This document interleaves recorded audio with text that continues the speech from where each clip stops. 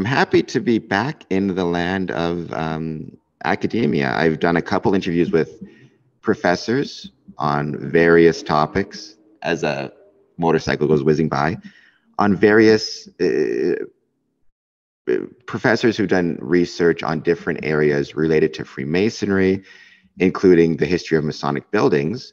But today I am with Associate Professor Pamela Popielarz. She is with the University of Illinois in Chicago. It's one of my, I love Chicago, by the way, one of my favorite cities. Such, such a cool spot. Yeah. Um, you know, your research areas has to do with, and I'll ask you to expand on it, organizations and social networks and the connections between the two, how a organization will shape the community in which it's located and vice versa, or the, the systems in which it comes into contact with.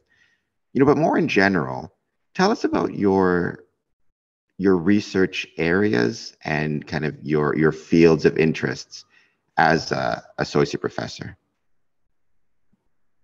So um, yeah, thanks. Uh, thanks for inviting me on the on the podcast and to, to talk a little bit about my research.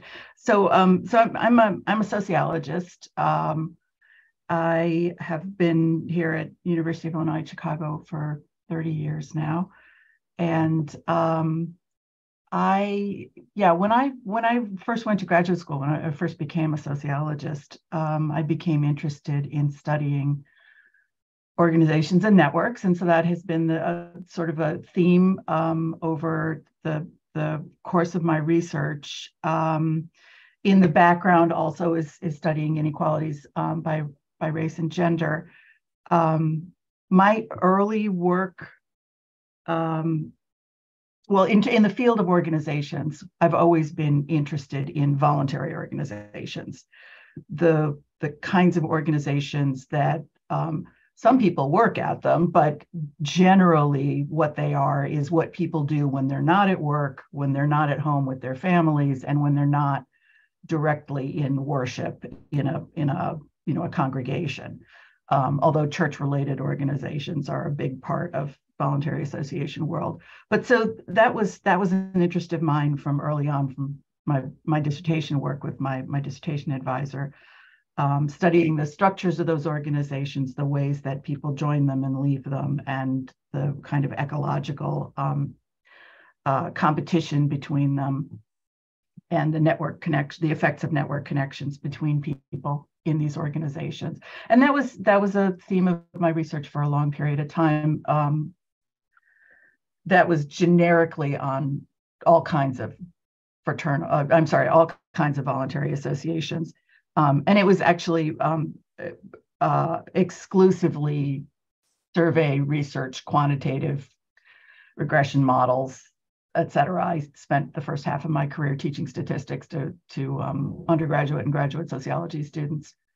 But um, in the in the last um, little while, I moved away from doing that quantitative work um, and was really interested in, in starting to learn how to do historical work instead. Um, and that's part of what brought me to. Um, I was actually at the same time I was starting to do the work on the fraternal orders, the historical work. I was also doing contemporary work on um, uh, voluntary associations and social networks among immigrants um, here in the suburbs of, of Chicago. And so it was, I was balancing those two projects for a little while, but continued with the, the research on the fraternal orders. And then what was it about Freemasonry in uh, particular that piqued your your interest? Did the I mean more in general too. I was, I was curious. Did the interest in Freemasonry predate kind of your academic career, or was it the opposite? Uh, did the did you learn more about Freemasonry or find it interesting after your academic um, career kind of really took off? Um, you know, it's it's one of those things that so I, I mean fraternal orders are a, a, subset of voluntary association so it's you know it, it, it's kind of a, a natural progression the um in some ways the um, the large data set that I wrote my dissertation out of, that I helped my dissertation advisor collect, um, that we published a number of, of uh, papers from, included memberships in fraternal orders. And I remember, you know, just, you know, uh, uh, getting the survey data and reading the responses, uh, some of the open-ended responses where there were the, you know, the names of the organizations, and some of them I recognized as what I would now, you know, I now know are, are fraternal orders. Some of the names I recognized, like Freemasonry, um, and some of them I just I didn't. I had to look them up, and I was kind of fascinated. Oh, this is like this is a whole branch of of voluntary associations. But once I started, I I mean, it's it is it's a long-standing interest, honestly, in um, organizations that involve brotherhood, um, and I I, I uh, you know I think there are parallels between lots of different kinds of organizations through the long swath of history in the United States, in North America, and in um, Europe that are centered on brotherhood. And I'm, and in some ways they may be related from one another, right? So um, in fraternal orders, in um, current day terms, you think about brotherhood as being the center of existence, not only for fraternal orders, but for some other organizations that many people would find extraordinarily different, but gangs and uh, motorcycle clubs. You were just mentioning a motorcycle outside um, your, your uh, building. Um, and going back in history through um, brotherhoods or order knighthood orders um, and monasteries and there are some ways in which, structurally at least, not perhaps in terms of all of the details, certainly, but structurally, there are some similarities in those brotherhoods, and they're, they're kind of fascinating to me. There's there's also sort of a sideline in in, in interest in in I don't use this term in my in my research, but um, uh, and I, I, I don't imagine that uh, that Masons use the term secret society very much, but uh, uh, that is a sort of covering order is sort of interesting. I, I was an undergraduate at Yale where there are a lot of secret societies. I was not a member of any of them, but they become like they were just fascinating to me, these organizations. And at the time that I was um, in college, uh, uh, they were most of them were still, or many of the the top ones were still all male. So they were they were incredibly mysterious yeah the secret society versus um the, the you know my my dad um was the first one I heard it from. I mean, my whole family, myself included, right, we're lousy with Masons, but um, the the the expression he always used was it's it's not a secret society, it's a society with secrets. Um, the secret society aspect, the mysterious aspect, it I don't know. I don't really know where that. I mean, you might have discovered it more in, in your historical researches. I mean, I don't know exactly where it came from. Like at some point, the m- membership decided that they wanted to play into some of that stuff. Because I mean, if you, I've, I've been doing some research because our, our building is celebrating its 100th anniversary. And, you know, if you go back and you look at um, newspaper articles from the the 20s through the 50s and 60s you know you're regularly seeing in the windsor star congratulatory notices about who became the worshipful master of which lodge or um, you know grand master visitations or if there was a snowstorm they would use the radio to announce that the lodge meeting was canceled yes.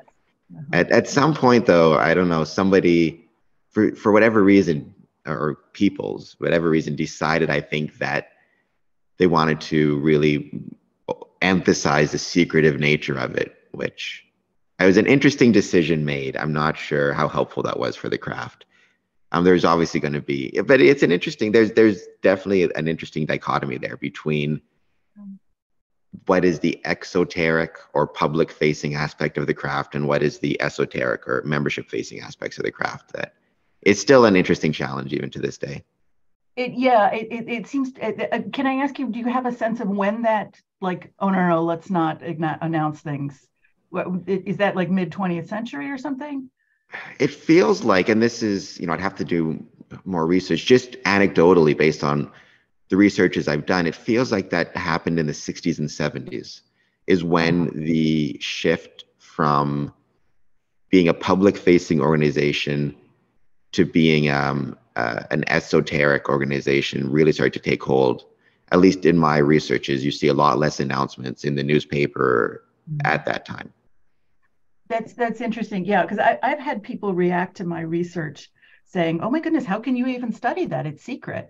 How, how can you know anything about it?" And I say, "Well, I mean, I, I have to couch everything that I always say and um, about masonry to academics and and people outside of academia is like i studied 19th century and early 20th century indiana mostly um, and so you know whatever people know about masonry now that's not what i'm studying and I, have I've learned a little bit about it but I, I i'm i'm not but um but yeah I, I that that is one of the things that i noticed is things in the newspaper and things were it was you know uh uh there's a line between what's secret and what is not secret. And it's, but it is interesting that there was a, a pull in at some point because I get the sense na- anecdotally just now that there are many places where buildings are being opened. I've toured a lot of buildings um, and I've had people give, giving tours basically saying, we're doing this to like let the community see, to re- basically reverse that secrecy. excuse me, as I unmute and cough. Yeah, there is a, there definitely is a renewed push. I mean, I've been a Mason since 20, um, 2007. And even in that time, there's, at least in my jurisdiction in Ontario, there is really felt like over the last five years or so, even 10 years, a renewed push to be more public and, and forward facing. Um, I think for good reason. I mean, this is just Cameron speaking, not representing any any Grand Lodge positions, it, eh, but it at least from a terms of, of strengthening of the craft, I certainly don't see the focusing on esoteric and, and secretiveness as being particularly helpful from a membership perspective or mm. from a, a lodge growth perspective. I mean, you are seeing a lot of, and this is true for almost everywhere I've interviewed, a lot of Masonic buildings, a lot of lodges are far more comfortable with open houses and, you know, uh, inviting the public in and having forward facing websites and, and all that type of stuff. So, which I personally think is is the proper approach to take. But there are, I don't know, I don't know. There's no official terms for these things, but there are the the esoterics, for lack of a better term, who are are far more focused on on or would suggest keeping things more private in there. It's an interesting it's an interesting tension that I don't think will ever be completely resolved. I'm sure it wasn't resolved even in your researches in the 18, you know, your your paper that I read looking at Freemasonry in Indiana in the 1840s, 1850s, and up, you know, I'm sure even you saw that tension between how much of Freemasonry should be public facing versus how much should be kept secretive and and member facing. It's it's a tension that I think many organizations struggle with, and there's no clear line as to what the right amount is. You're kind of figuring out as you go.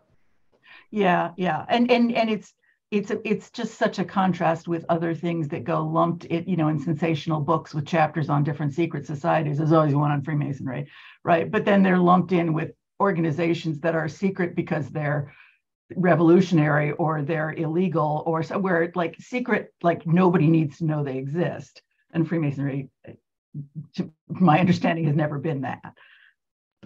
No, no yeah no. It, there was there was like i said there's always been that that tension. There's always been a, a combination of this goes i mean this goes back to the constitution. This goes back to 1717 and, and even before you know how how public facing are we versus how esoteric are we and, and where's that line and it's it's just i think it's the nature of Freemasonry, and that is a special thing about it that it has that that line and it's trying to figure it out as opposed to other organizations where it's either 100% secret or 100% public, right? We have an interesting mix.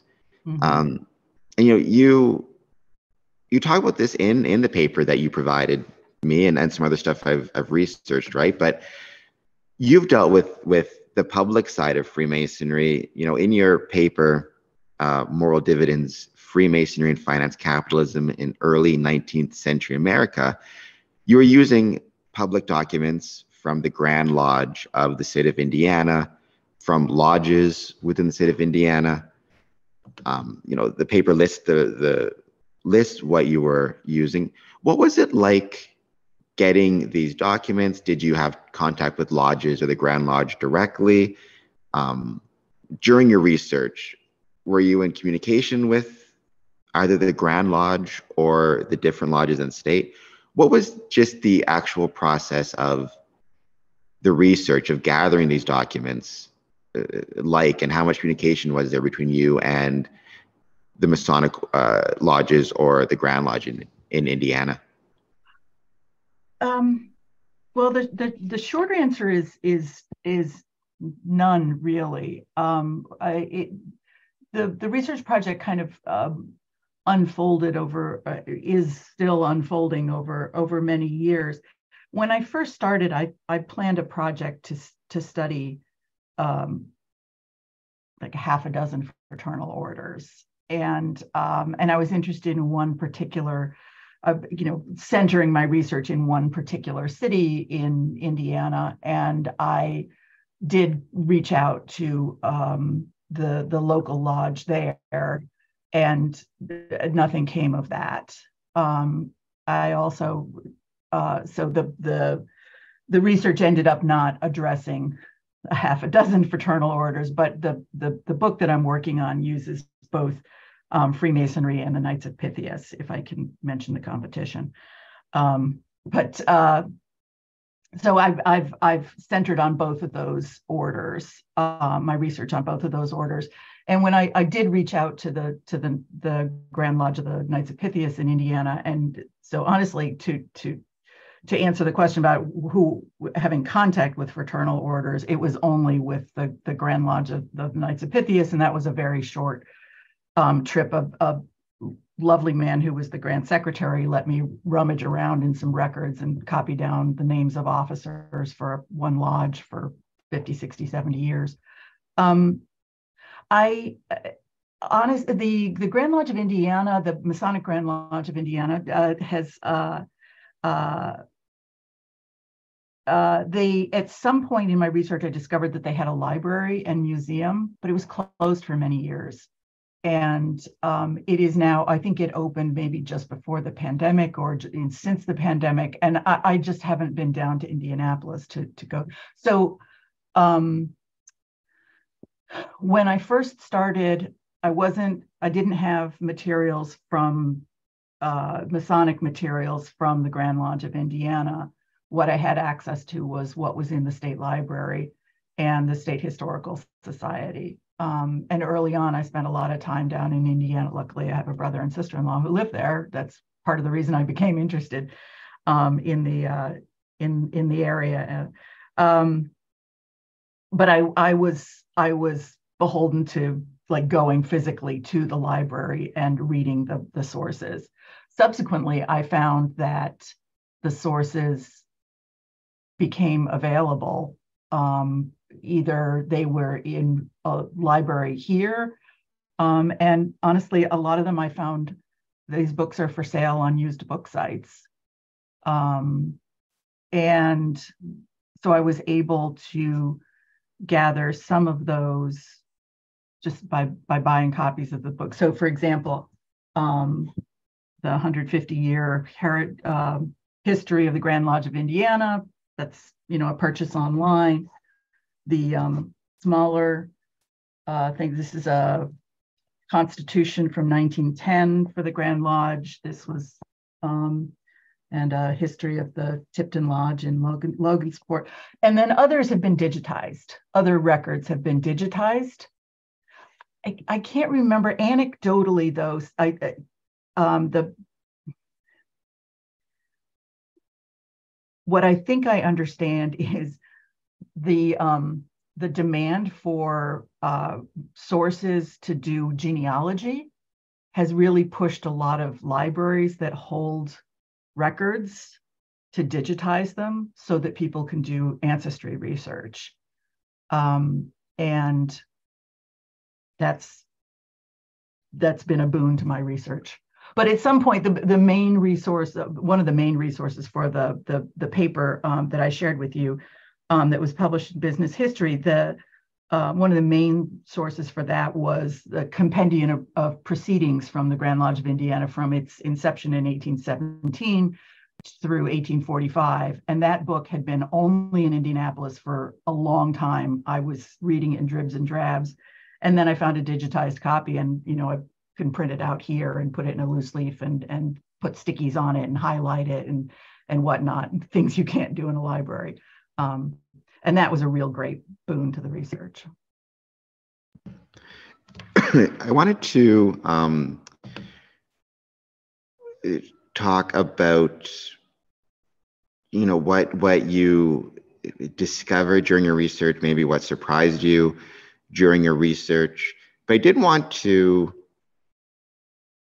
talk more before we get into that. Kind of define some of the the terms or one in particular, because right, your the title of of your paper, um, Freemasonry and Finance Capitalism in Early 19th Century America.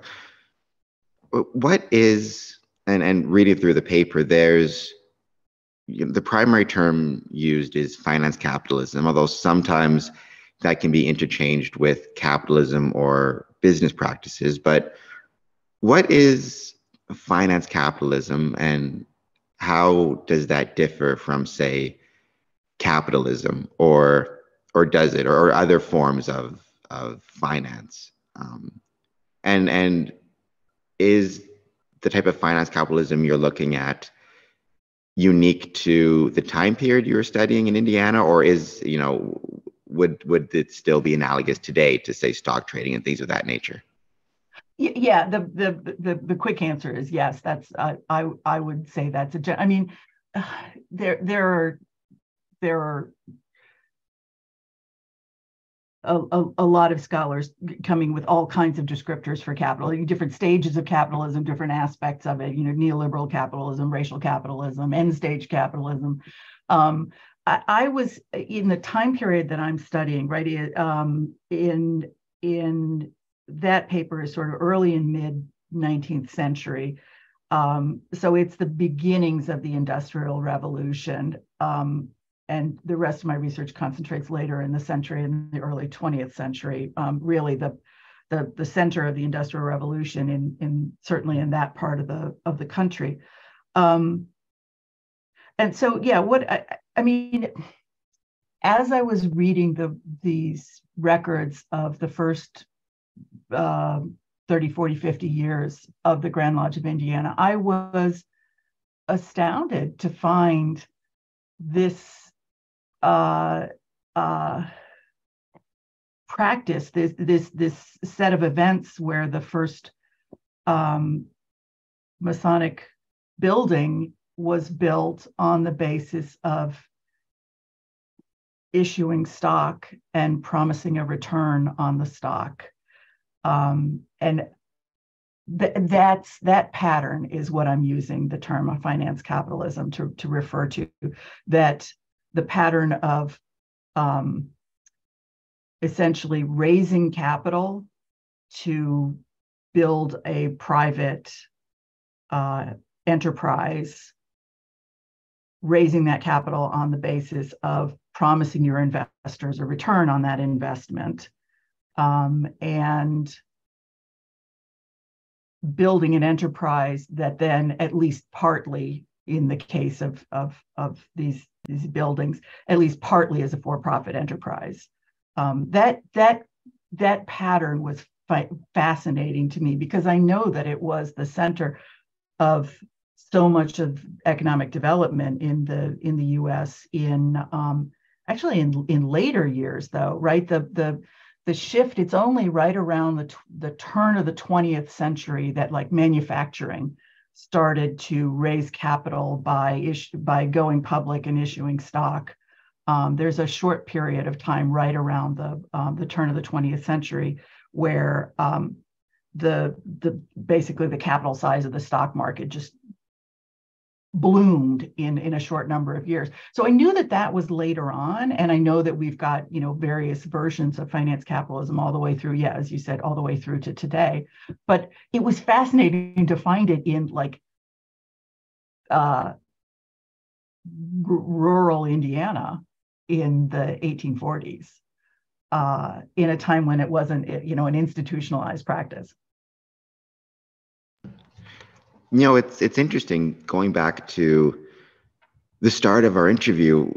We're talking about that tension between, um, which exists today and has existed since even predating 1717, the tension between what is the public aspect of Freemasonry, what is the, the private aspect of Freemasonry, or the esoteric aspect versus the exoteric, and where do you draw that line? I mean, my experience in Freemasonry since joining is there is a great deal of tension between the um, finance and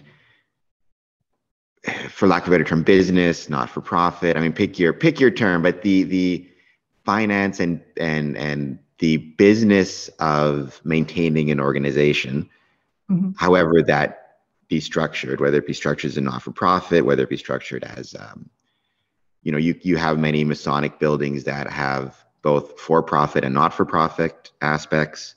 Um, you know, throughout the world, it, there there's that versus the, again, the esoteric moral improvement, yeah. socialization aspect of the craft. You know, there's a famous expression going around amongst I guess it's, it's it's a newer expression going around amongst Masonic circles, right? Which is no one joins to pay bills, um, because you know in a in a business meeting, a typical business meeting, much of the time will be spent on things like paying of bills, a budget, reading of minutes, um, and and you know it's interesting in at least in my experience there's there's a great deal of tension between the those brothers or those members that have an interest in just the nuts and bolts of maintaining a building, whether it be through through uh,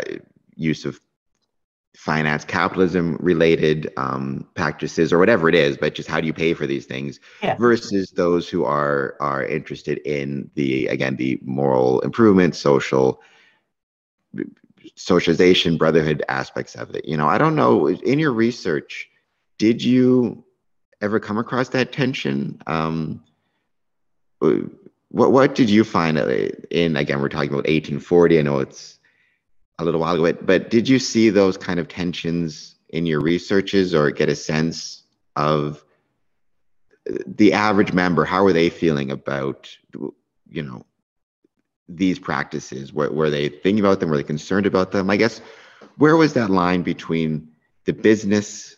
Again, I use that term loosely, but the business side of the craft and the esoteric moral side of the craft. Yeah, it was, um, it's.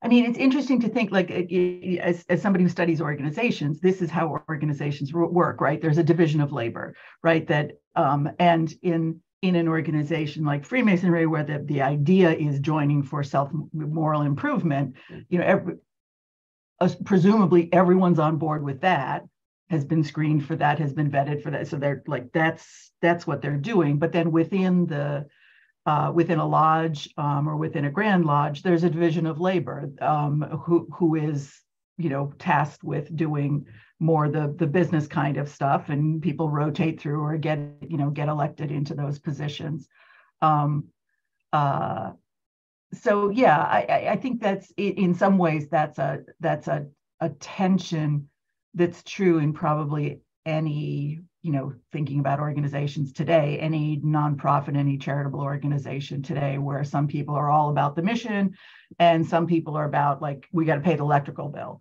Um, and and I yeah, I, I I think there were some some tensions on that. Um in the records.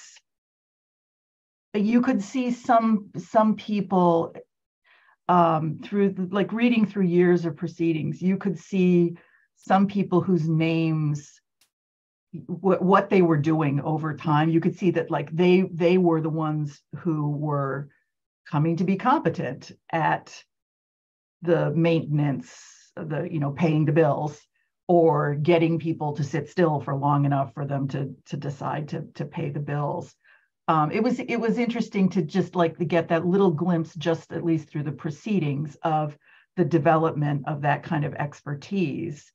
Um, and I'm certain there were also others who were developing expertise in the more esoteric aspects. That's not my the the A. That's not going to be in the proceedings, and B. That's not the focus of my research. Um, I'm not.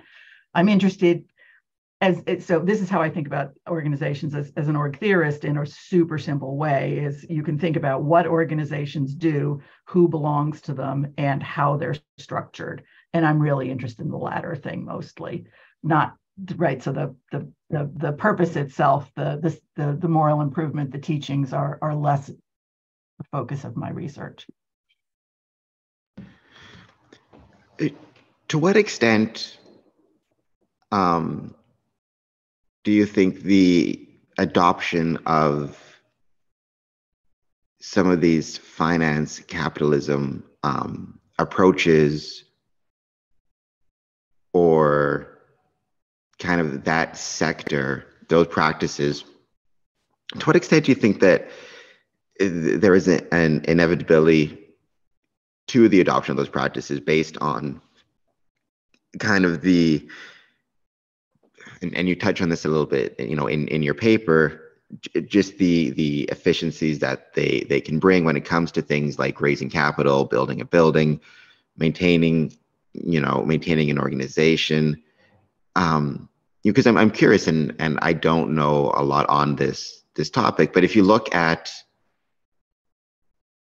countries that have a different um, economic model, well, in, in some cases, like in communist countries, in many cases, Freemasonry was outlawed.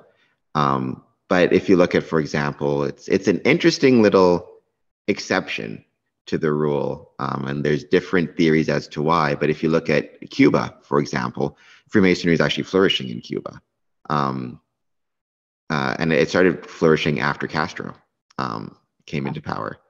Um, and there's different theories as to to why that is. Um, but you know, Cuba certainly was an exception in terms of um, Castro was more than willing to um, look the other way and, and had no demonstrated no concerns or, or no active interest in in in in persecuting or or, or outlawing Freema- Freemasonry in an active sense, as opposed to other other countries, um, other communist countries. But you know, I don't know what their practices were like in Cuba in terms of the financing of their buildings and, and their lodges. Um, but I guess in, in Indiana, in other similar jurisdictions throughout the states, you know, to, to what extent do you think were, were the adoption of these practices just an inevitability of looking for the most efficient way to raise capital versus um, you know, uh, uh, were there tensions? Were there people trying to look at other approaches to take for raising of capital, things like that? I guess to what extent do you do you think the adoption of these practices was an inevitability versus what other options could have been explored? Yeah, so, so that's that's that that's an interesting question. I just just want to um, jump back for a moment to your I, am I'm, I'm really excited to hear what you said about about cuba. Um, i did not know that. I, I have had the the chance to present this research um, at uh, several times at, at, european conferences and in conferences where there are scholars from across the globe. And it's always interesting to me the reaction. I've gotten some really uh,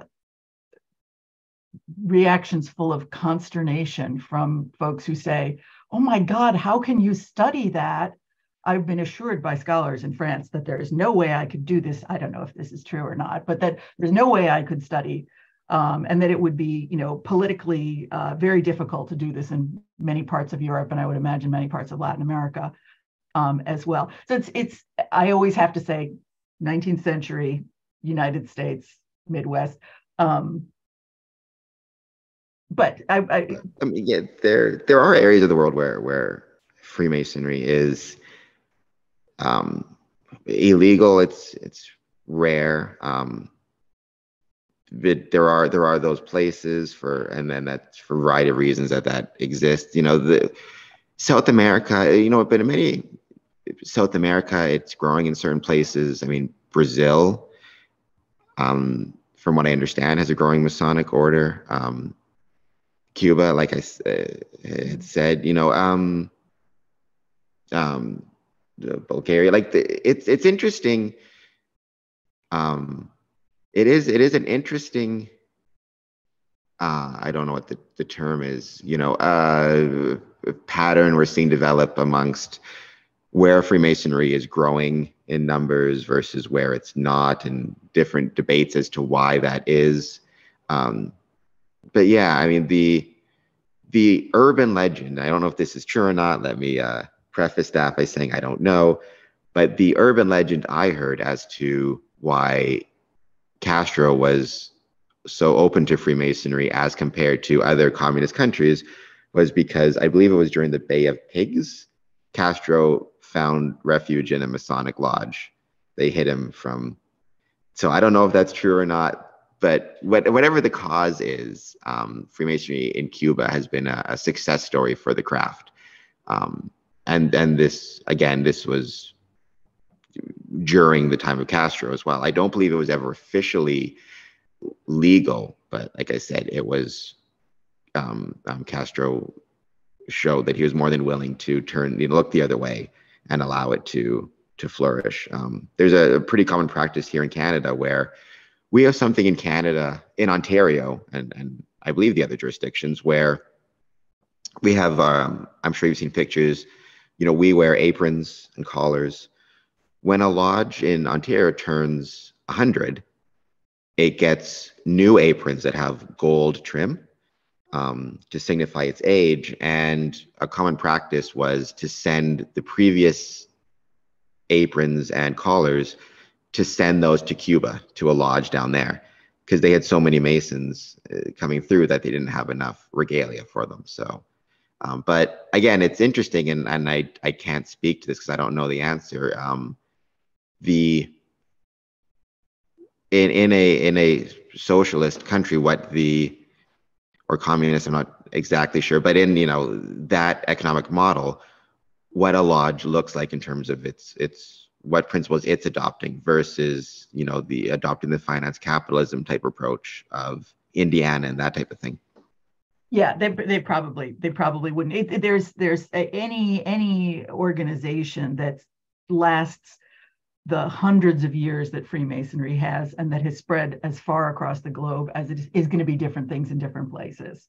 Um, uh, especially since there isn't like a central uh, government. But but yeah, I, I want to uh, address your your main question about whether the adoption of these um, business practices were inevitable or not. And i think that's that that, that that's a that's a really good question.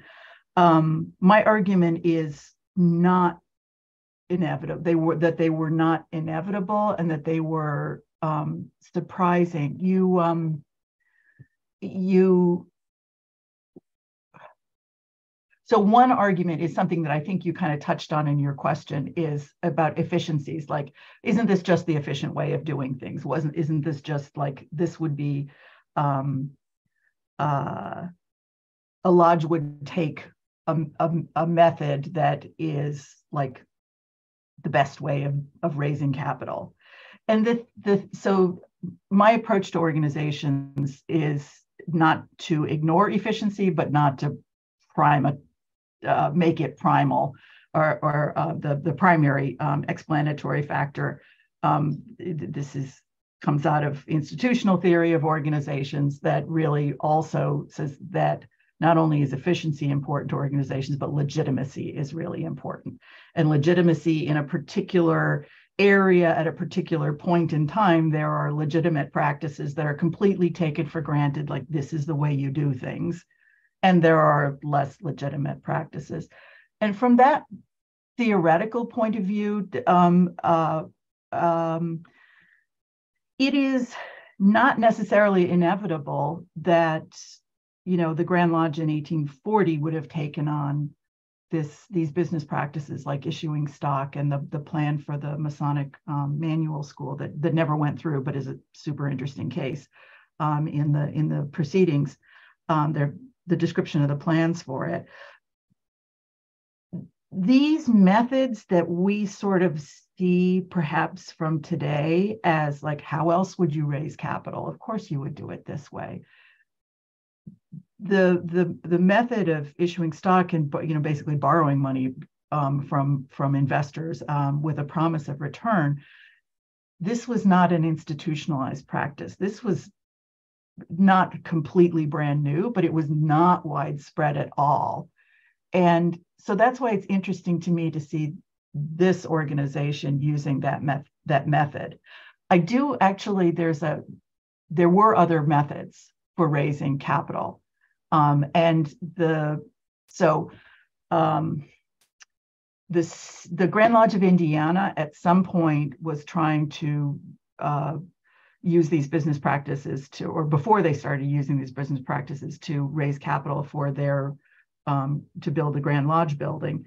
Um, the neighboring state of Kentucky, uh, they raised money by um, having a lottery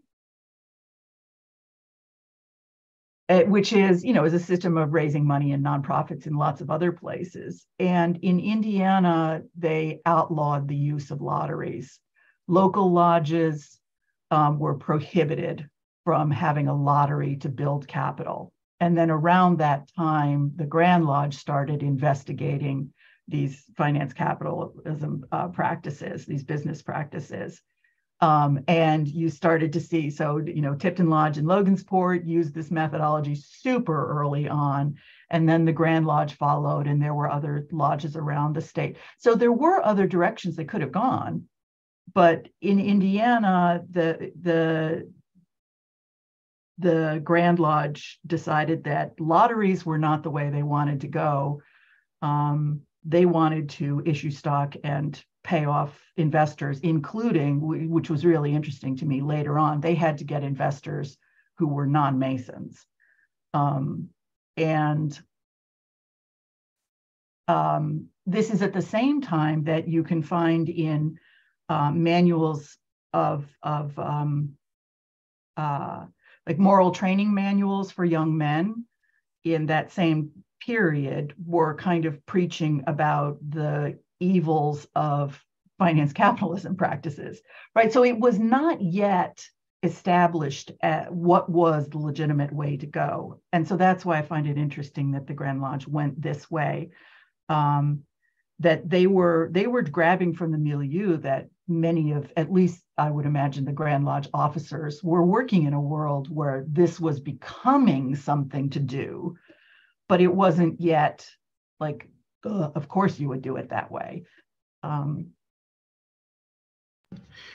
and you know, you talk about in your paper the and and I a lot of people might find the the first part obvious the the effect that um, adopting some of these practices, adopting finance capitalism practices, had on the craft and on Freemasonry, especially at that time. Um, but then you also go on to talk about um, the the way that Freemasonry then began to have an effect on the world of finance capitalism and, and how it became um, a mutual interchange of ideas or or ideals, I guess, or practices um, you know, which which a lot of people may not think about in the same way. Again, going back to the idea, a lot of people view Freemasonry as kind of a, a one way one way gate where things from the outside world can come into Freemasonry, but Freemasonry doesn't then affect the outside world, which is again a, a modern idea. It doesn't reflect um, historical precedents, anyways, at least in my researches. But you know that that latter piece, the way in which Freemasonry and some of its ideals then began to affect uh, the world of finance capitalism. Can you talk a little bit about that and and how the, that the way that mutual interchange took place? Yeah, I mean, I I, I think the um, um, in the in the setting that I was just describing, where you have multiple possible ways of raising capital to do something like build a building, um, and where different, you know, over the border in Kentucky, lotteries are okay, but um, uh, but there's, you know, in Indiana, there's a little swirl around this idea of of issuing stock and getting investors, and um, and you can think about ways that other organizations raise um, raise capital, um, you know, just purely through donations or through one like angel investor, not investor, but you know, um, uh, a, a, an endowment from from one wealthy uh, you know uh, alum or or um, member or something like that.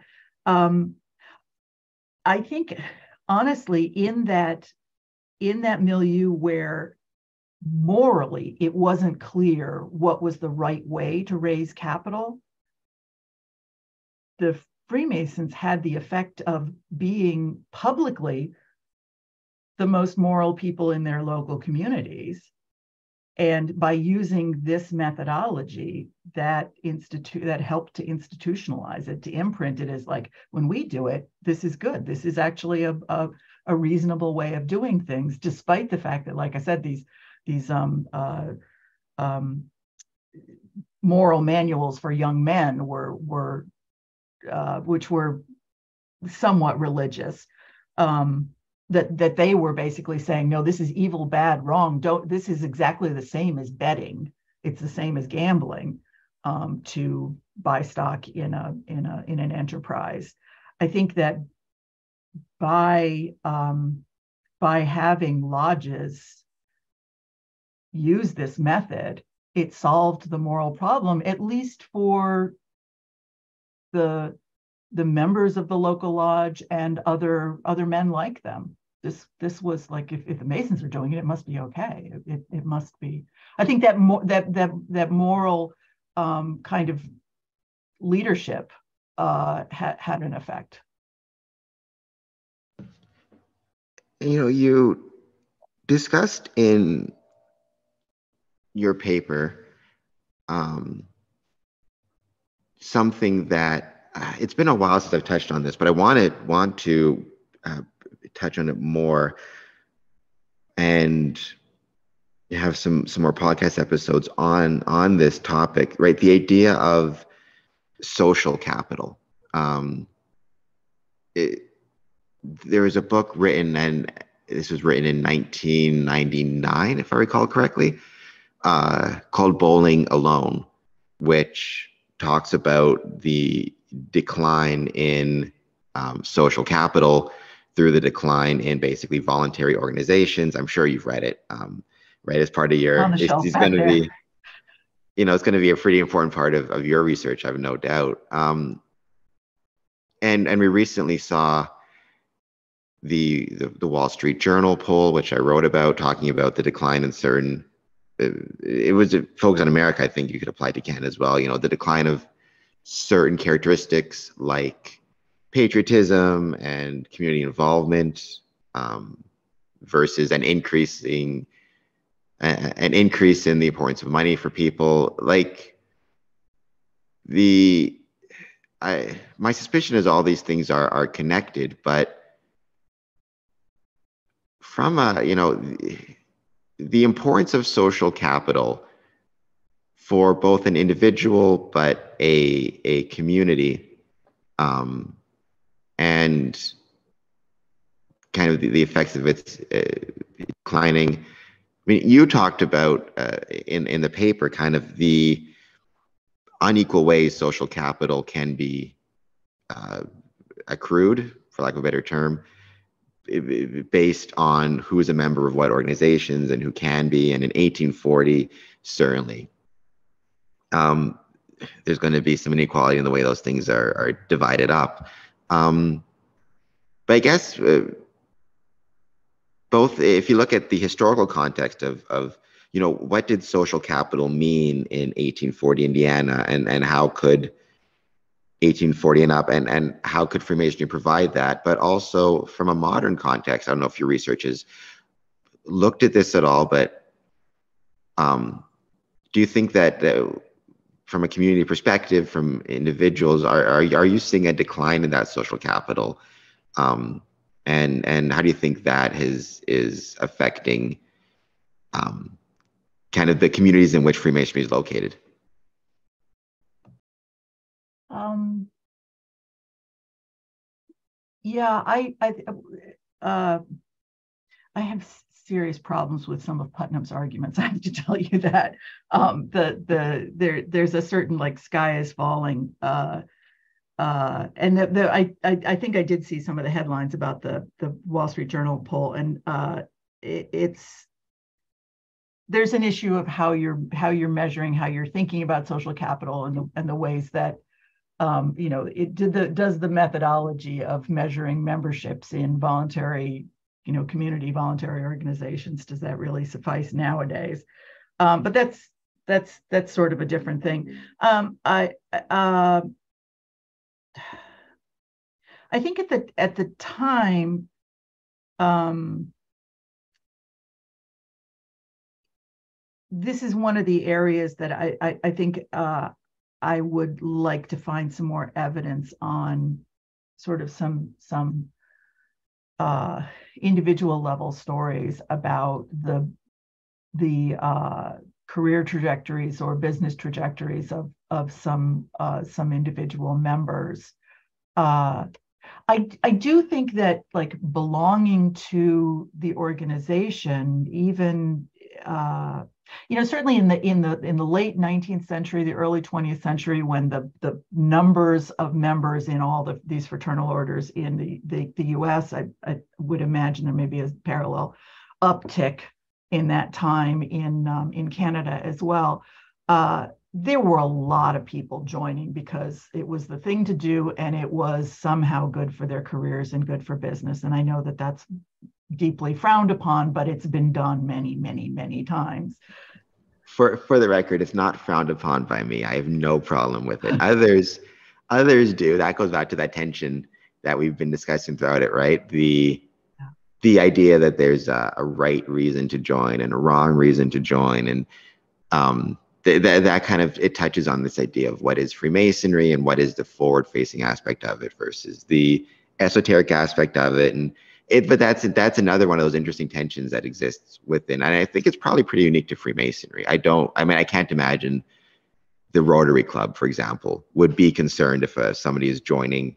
Oh, it's for, all about professional. Yeah, or Kiwanis, or like I don't, I'm the Elks. Like I'm not a. Uh, there's so many fraternal organizations that have came and went. I think Freemasonry is uniquely concerned with um, of somebody joining for business related reasons or some type of some type of social networking effect. And again i think that is something that popped up in the 60s and 70s i don't see that in in at least my research is you know you were you were in the 20s and the 50s the, the boom periods you know if the mayor joined your lodge you were quite happy that the mayor joined your lodge. Whether he joined it purely for political purposes to get votes, I mean, that, that didn't seem particularly of concern. They were just happy that he was uh, there, right? And if his political rival joined the lodge, they were happy that you know the political rival joined the lodge too, right? It was, it, it, it whatever got the guy in there, it seems like so long as he was in there and was acting appropriately in a meeting, um, and not going around sharing sharing secrets and stuff, like his reasons are his reasons. It, but again, the the 60s and 70s seem to be this time when a lot of these ideas changed, and as the secretive aspect became more and more important, so too did some of these ideas about joining for the right reason versus the wrong reason. Yeah, I wonder if those are connected. I yeah, because I, I feel like I see ebbs and flows in the worry about who is joining and for what reasons they're joining. Um, but it, yeah, in terms of social capital, you know, your example about you know the mayor joining during during a campaign or something, um, and that's part that partly you know if you think about social capital as like something that that that devolves to an individual good um, uh, which is one certainly the Putnam way of looking at it, um, partly. But um, it adds to his social capital, but it also adds to the social capital of everybody else in the lodge, right? Can now say, well, I was with the mayor, you know, at the meeting last night. Um, and so yeah, and it, I mean, I, I I like to think about the you know the members um, in you know mid and late 19th century Indiana, where things uh, you know, throughout most of that time, a lot of Indiana is pretty rural. I mean, these are small towns, you know, um, and you know the the the the people who belonged to a local lodge were, you know, what my stepfather would call the movers and shakers of town, um, and by them being in the same room with one another, that was that was helpful to all of them in many ways um, as you know, I I I, I understand uh, just getting to the edge of the lodge room door. I'm not going in, right? But I, I understand that what goes on in the lodge room is lodge business and Masonic, but people don't just part ways at the at the at the large step right? They they socialize or they run into each other outside of the meeting or there's there's socializing before and after. And all of that adds to to, to everybody's social capital. I also like to think about the um the the grand lodge reps. Um so traveling from you know logansport indiana or you know madison or someplace you know far away from indianapolis traveling to Indianapolis for the Grand Lodge meeting and the boon that that would have for meeting other folks. And at the Grand Lodge meeting, there's there's also, you know, so you're meeting people from other small towns. This is a, a place to build business connections, to to hear about new business opportunities. So so the, the social capital aspect there, I think, is strong. Either during your research, either for your recent paper, Moral Dividends, or just in your researches in general, what are some of the things um, that has most uh, surprised you about Freemasonry? um,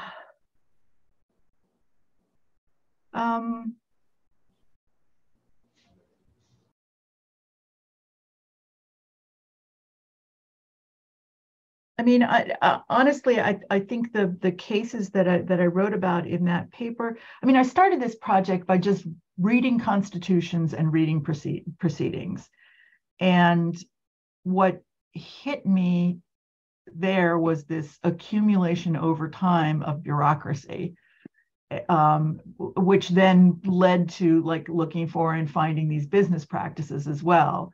Um, but I just, it just seemed to me that it just became more and more bureaucratic, and partly that's driven by size, and that's back to the, the efficiency argument. But then I started looking a little bit more at the legitimacy. Of these practices, like not all of them were legitimate to begin with. There was a there was a fight. I um, I think what, one of the the the earliest things that surprised me, this is going to not seem very interesting, but one of the earliest things that surprised me was um, uh, and it may vary in different places, but paying the secretary.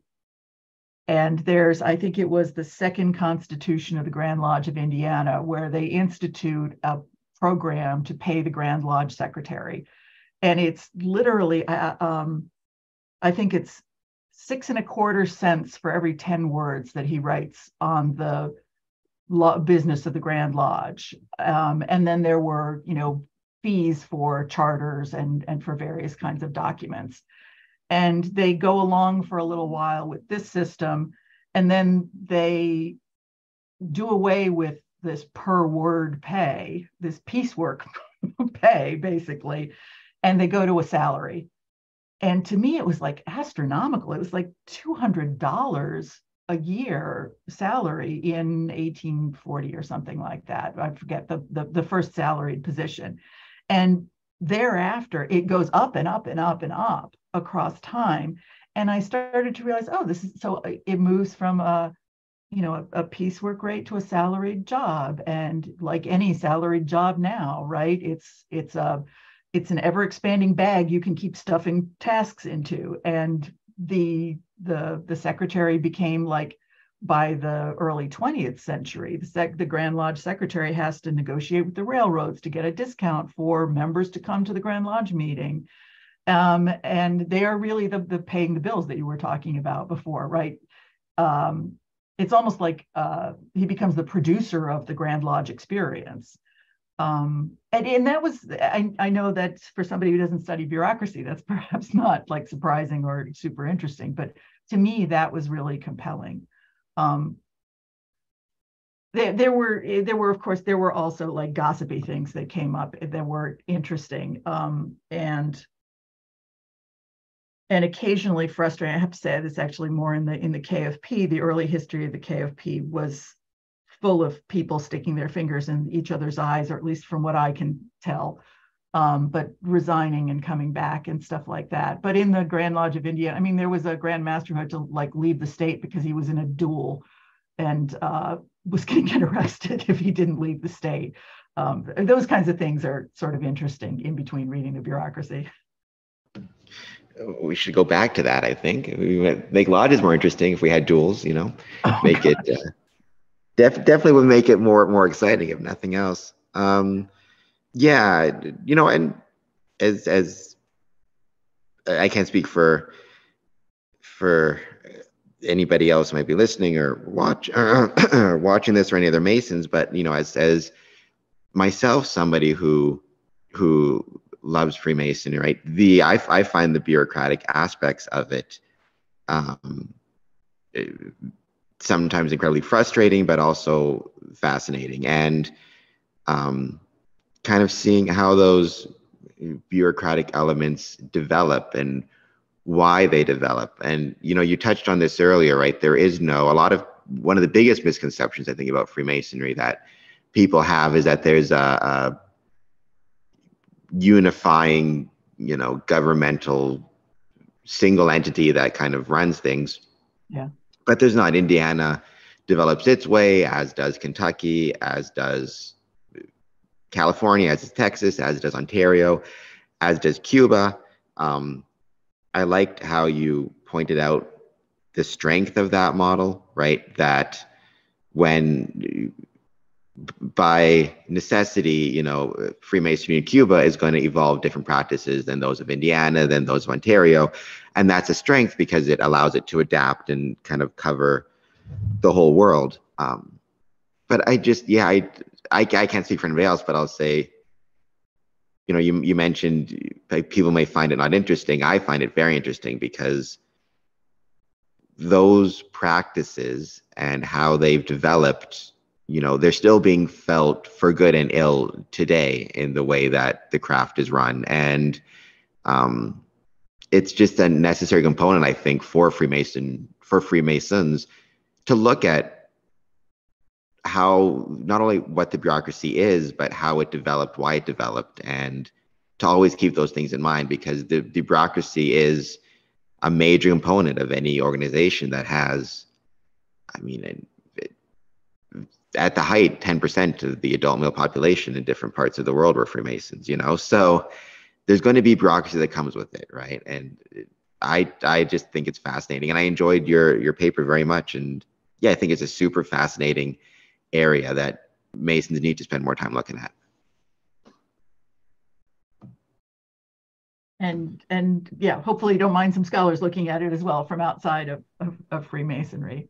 Um, no, I think it's great. I think it's. I mean, well, first though, you know, those the, as you pointed out, they're they're publicly available documents, um, so they're publicly available for a reason, or they should be publicly available for a reason, right? We and also, you know, it, it's it's something worth studying. I mean, people, again, people have forgotten for whatever reason or, or because in some cases Freemasons have kind of wanted them to forget the central role that Freemasonry played in, in most communities up to the 1950s, whether it be the economics of the community or otherwise. You know, uh, Copperhead Road, that song, right? By, I can't think of, yeah, right. He talks about his dad bought his car at, at the Masons Lodge because for most small towns, the that's where you had police auctions at, at the Masonic Lodge. That's where you had vaccination clinics. That's where you had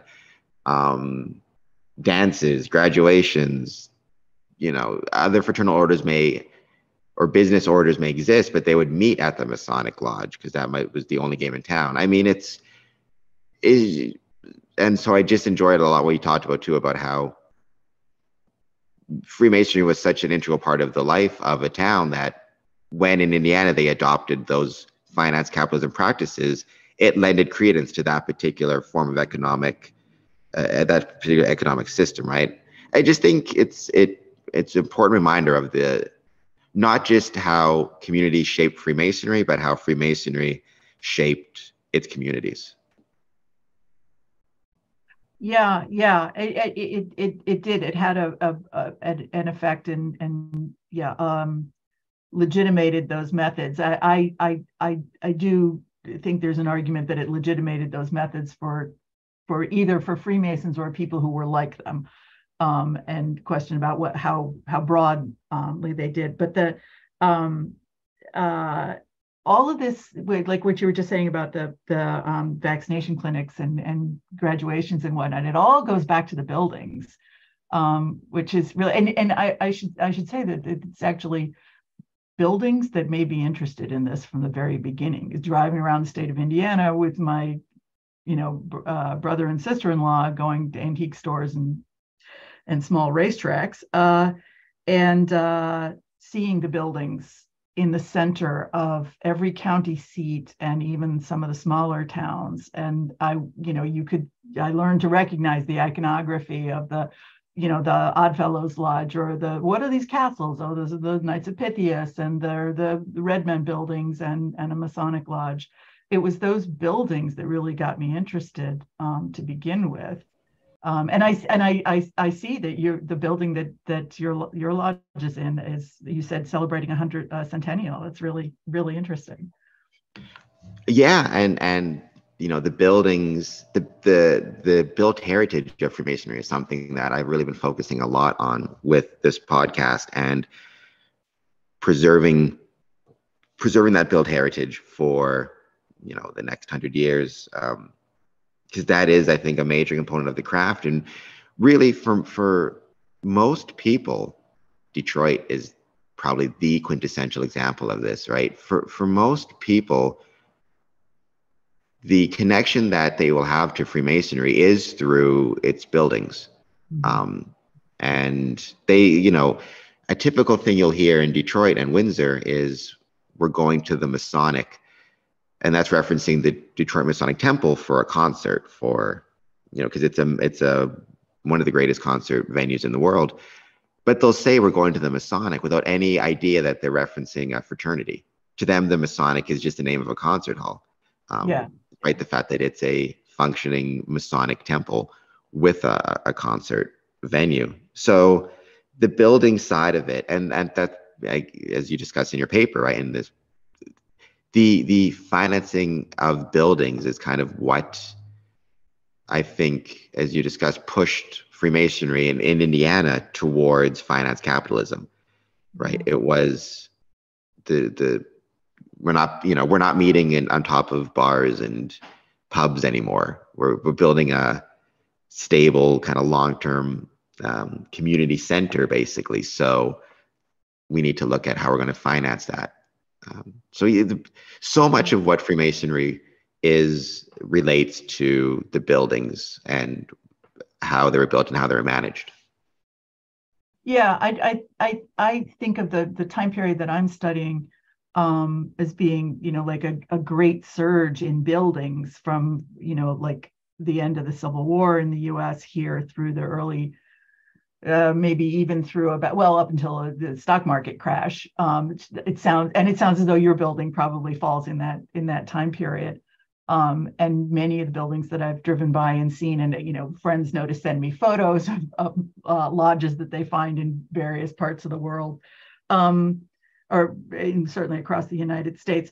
I think that that during that period, those buildings were a great um, uh, like focus of strength for the for the the lodges and for the order in it in itself it's you know not to be crass about it but it's publicity right? um and the the buildings in indiana they're you know they're in the in the on the county seats they're right on the courthouse square they're right across from the courthouse um so I think they were like a tremendous advantage because some of them also ended up being these profitable businesses um, or profitable places to, to rent out space and whatnot.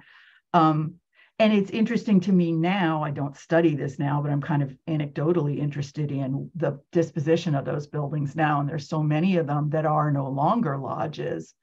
And that's another fun thing driving through small towns and seeing what they are now.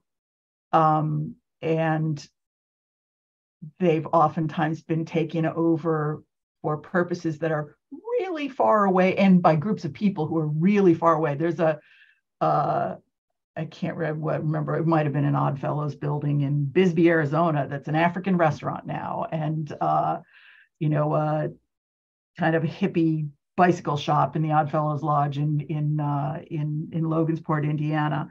Um, and lots of times they, you know, they may be um, dojos for taekwondo or self-defense classes or their yoga studios or because the space and the beautiful floor and whatnot. Um, but for the lodges that have held on it can real to their building it can really be tough because they need upkeep and they're the taxes and um, it's it's really difficult to to maintain them. Oh yeah that's a huge huge challenge it, it, it has a lot to do with just the time periods we're talking about. Most grand Masonic buildings date to the 1920s, with another kind of wave coming in the 50s. But mm-hmm. pre- previous to the, as, as, you know, the, the time period you gave post Civil War to the 1920s is pretty much the time that a lot of these great, quote unquote, great Masonic buildings were being built. There are some that predated, obviously, but before that, a lot of Masonic lodges rented out space above taverns and bars and things like that, especially when when Freemasonry first came to America. Um, but no, it's and and it's interesting you bring up Masonic temples becoming new spaces or reused as different spaces. I mean, the classic example I always provide is Jimmy Kimmel Live is filmed in a Masonic temple. Um, in California, Los Angeles, right? There was uh, Fleetwood Mac recorded Dreams, one of the greatest albums of all time, in a Masonic temple that was converted into a record studio. California is like, fa- I don't know, famous is the right word, but Cal- California has so many Masonic buildings that have been repurposed. Um, yeah. For, you know, there's lots of reasons for that having to do with heritage rules and um, kind of the big explosion of Freemasonry in the, which I want to do a podcast on, but there was a big explosion of Freemasonry in the Hollywood studio system back in the 20s, um, which I really want to do a oh. podcast on. Because it was, um, again, that, that was one of those times when people weren't as judgmental about the reasons for joining. So you had a lot of people joining because the studio boss might have been a Freemason or whatever it was. And so, yeah, so it's a, uh, it's a super interesting time period. But that's a whole separate can of tuna. But it is interesting, and I always find it fascinating when I find a Masonic building. Um, my my hope is always that it stays with the fraternity. But if it does get sold, my hope is that whoever purchases it doesn't just tear it down, but uses it and creates new memories there, and hopefully does something to maintain some of the, you know, original Masonic elements. And Chicago has the um, Nederlander, I believe it's called Nederlander Theater, which was a Masonic. Oh. Um, I did not know that. Actually, because yeah. I've been in there. It's and it the, the that uh, the, the the the lobby is just florid. Um, I'm gonna have to think about that that again. I mean, certainly the the the which is the hotel that's that was the Shrine um, Athletic Club. Um, yeah, I know what you're talking Intercontinental, about. Um, Intercontinental Hotel on on Michigan Avenue. But I'm also forgetting, like uh, right here in my neighborhood um, on the north side of Chicago, there was a building uh, that had been a Masonic lodge, and then it changed over. It was a Buddhist temple for a long time and it's been torn down now. And there's a, you know, they, erected a small private school on the place. And around the block, there was another place that had been a Masonic lodge. I don't know yet whether they were connected, but um, was the American Indian Center for a long time. And now it's condominiums. Yeah. Yeah, if you're at the, I think I got the name right, Nederlander Theater. Um, yeah, yeah. They they changed. It was the Oriental Theater, but it's been okay. Yeah, if you look um on the facade of it, uh, like three floors up, you can see the square and compasses still on the the facade. Oh, so, so I'm gonna look at that. So yeah, it's um well, it's been great talking to you, especially talking to somebody. I love Chicago. I visited there all the time, and I usually I'm, I'm in northern Chicago, up in Glenview. I've got some Masonic buddies up there, but uh-huh. uh, yeah, it's like I said, it's it's I always like it, and and I think it's wonderful when academia takes a look at Freemasonry and and researches it because there's a lot of insights that people from the academic world will have on the craft, um, and vice versa. So you know, thank you for doing your research. Thank you for sending me your paper, and yeah, thank you for taking the time to be on the Square and, Pod, Square and Compass podcast. Thanks a lot, Cameron. It was really um, a great opportunity to talk a little bit about my research um, and uh, uh, and and you've given me some some interesting new things to think about. So thank you so much for this.